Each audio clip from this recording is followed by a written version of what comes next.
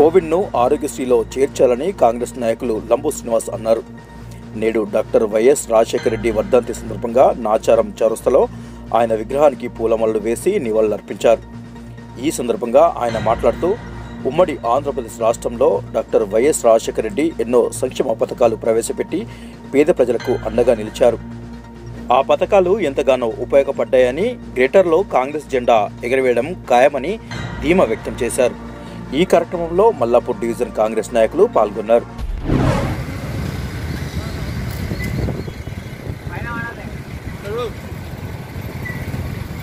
YSR! YSR!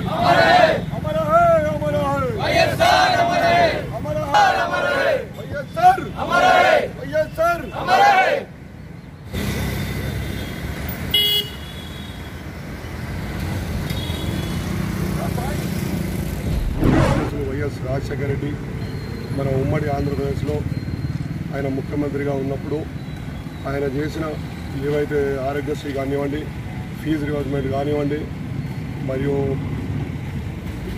వితంతువులకు మరి రాజు గుర్కల్ప కానివ్వండి వితంతువులకు కానివ్వండి ఇంతకుముందు టీడీపీ ఆదాయ హయాంలో డెబ్బై ఐదు రూపాయలు పెన్షన్ వస్తుంటే రాజశేఖర రెడ్డి దాన్ని రెండు వందల రూపాయలు చేయడం జరిగింది. అది అందరికీ తెలుసు యావత్ యావత్ భారతదేశానికి మొత్తానికి తెలుసు. కావున ఇవాళ ఆయన మన దగ్గర లేనందుకు మనం బాధపడుతూ ఆయనను ఈరోజు మనము తెలవేళలా గుండెల్లో పెట్టుకొని ఈరోజు తెలంగాణ మరియు ఆంధ్రప్రదేశ్ రాష్ట్ర ప్రజలు రాజశేఖర రెడ్డిని ఈ విధంగా వాళ్ళ బర్త్డే కానివ్వండి రాజశేఖర రెడ్డి వర్ధంతి కానివ్వండి జయంతి కానివ్వండి ఈరోజు తెలంగాణ మరియు ఆంధ్రలో ఘనంగా జరుపుకుంటున్నారు.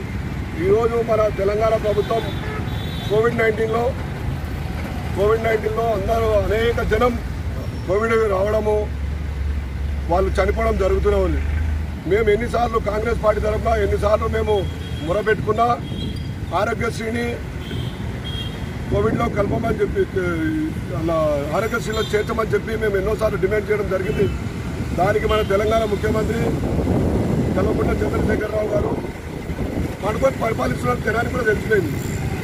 మేము ఈరోజు కూడా మేము కోరేది ఒకటే ఈరోజు రాజశేఖర రెడ్డి లేకుండా ఈరోజు జనం ఈ ఒక వర్ధాంతి చేసుకుంటున్నామంటే రేపు తెలంగాణలో రాబోయే గ్రేటర్ ఎలక్షన్లలో కాంగ్రెస్ పార్టీ